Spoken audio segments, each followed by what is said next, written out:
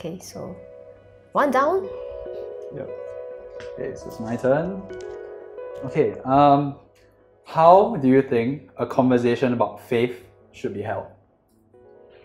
Prerequisite is that people have very open mindsets, Mhm. and um, that there shouldn't be this mindset that I'm right, you're wrong, or I'm here to challenge you, I'm here to prove that I'm right. Yeah, and I, I think with this, only with this prerequisite, we- we can hold meaningful conversations. I I think some people will be quite curious, so I'm, I'll just ask for, for the other audience. How about when you see some Buddhist monks or nuns doing wrong things?